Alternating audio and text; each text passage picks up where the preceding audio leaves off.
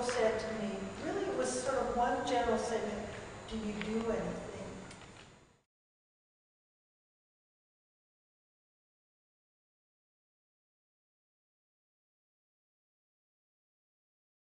Of all the artists that we worked with over the years, the most requests that we have ever received and still receive are requests for your information, photographs.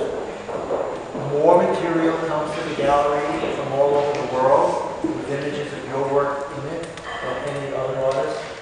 These are photographs from um, documenting a performance that I did in 1974. I said that the cleanliness of this area, the entire area outside the gallery, uh, is being maintained as art from 2 p.m. to 5 p.m. on June 13th, 1974.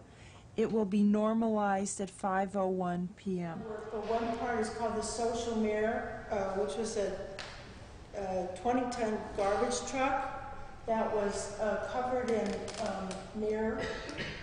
It's being um, dusted right before the beginning of the art parade in 1983. I was pushing maintenance to the limits, to its limits, where it became control of the territory and um, a refusal to allow anything to last more than a more than a second. You know, it became almost its opposite. The Sustainability um, is okay, it's like trend, maintenance is still boring.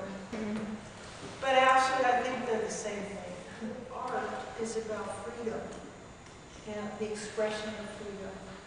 And um, it can, it can play out any way that the artist takes it any way whatsoever, any materials, any situation, anything. That's how human beings express themselves.